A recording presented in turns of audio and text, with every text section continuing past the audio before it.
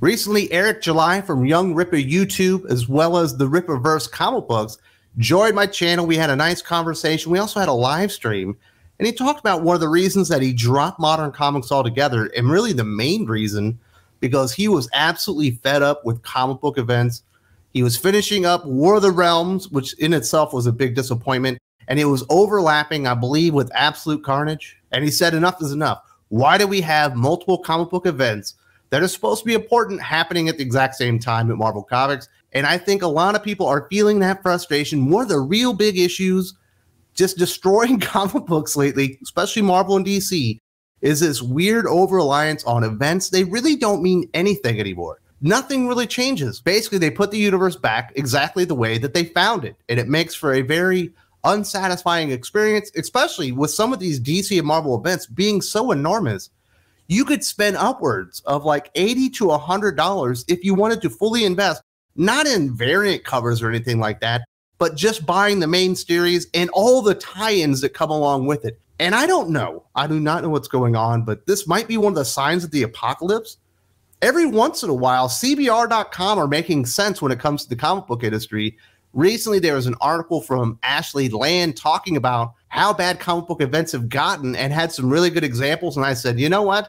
I just talked to Eric July. Let's get into this bad boy and talk about how this has done so much long term damage.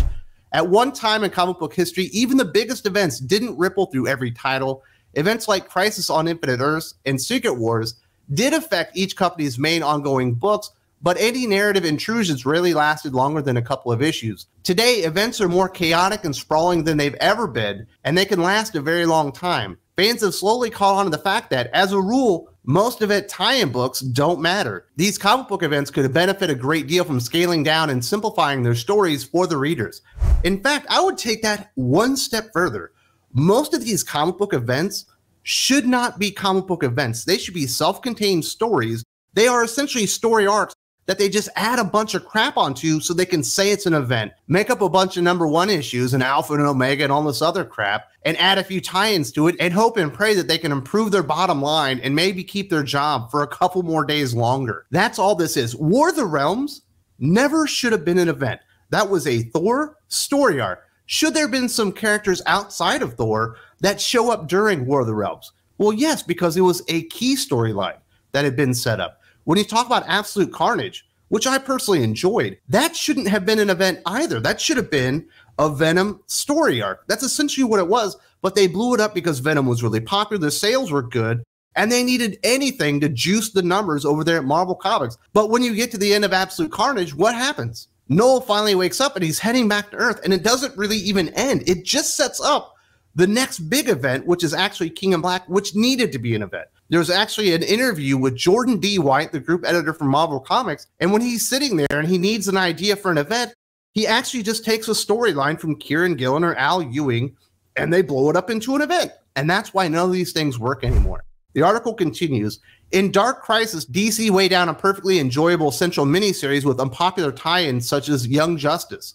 These stories were almost entirely disassociated from Joshua Williamson's narrative and became completely redundant as a result. All the same, readers felt compelled to add them to their pull list. The importance DC had assigned to the overall event, beginning with the death of the Justice League, seemed to demand it. However, these extra books didn't add much to the main story, and they distracted from what could have been a tightly focused, thrilling tale.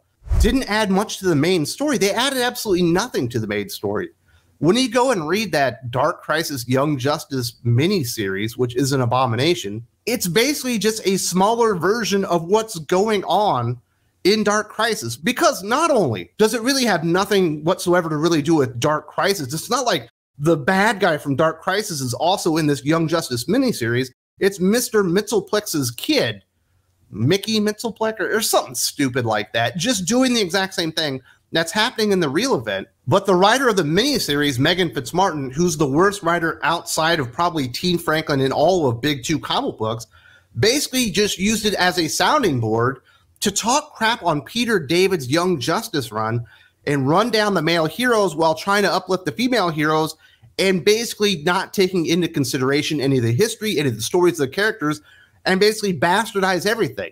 Well, guess what? Everyone hated it. No one liked that miniseries whatsoever. And it's always going to say Dark Crisis, Young Justice. It didn't even need to exist. And it really brought down Dark Crisis, which in and of itself probably shouldn't have existed either because it was basically just a redux of Dark Nights death metal, but done at a much less competent scale because Joshua Williamson just isn't Scott Snyder. Because let's face it, you know, Joshua Williamson's had like three or four attempts at making an event happen at DC Comics, and none of them have been successful. And yet somehow he's doing Knight Terrors, which is coming up in the not too distant future. Another good reason to talk about this topic because Knight Terrors is the ultimate jumping off point for fans interested in DC Comics when they actually have three or four good comic books, which are worth reading, which they haven't had in probably two years. It's absolutely insane.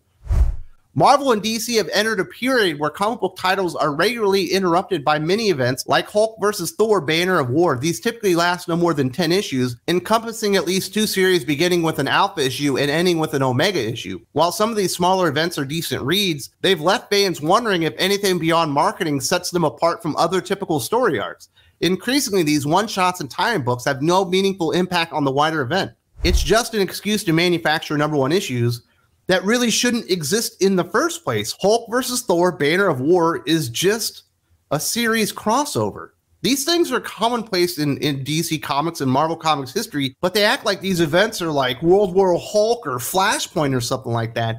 And people have caught on. There's no value in these number one issues other than bringing some speculators in who are just going to be disappointed when they find out that the comic book has no value outside of that because it turns out Hulk versus Thor Banner of War is just a pretty decent story. The juice is not worth the squeeze at this point, and they just keep going back to this. And they've diminished their sales, and they've ran so many people off because events don't feel important. There's far too much woke content in comic books. There's far too many reboots. And then the cycle just picks up and it gets faster and faster and faster and faster. And everything, any story that anyone conceivably comes up with at Marvel or DC Comics is now a candidate to be an event series with an alpha and an omega issue and about 50 billion different variant covers because they've actually driven off all the people that want to read the stories at this point. There's basically nothing to these anymore. They're they're just empty shells. There's no way Knight Terrors is going to be worth anything. There's no way Fall of X is going to be worth anything in the end because the writing sucks. The stories aren't compelling and there's no one sticking around except for speculators and a couple of hangers on wishing things hadn't ended. Now this last point that the writer of the article makes is one I can absolutely get behind. It affected me personally during the example that they talk about. The tie in problem extends well beyond simple diminishing returns of events and the way they devalue tie ins.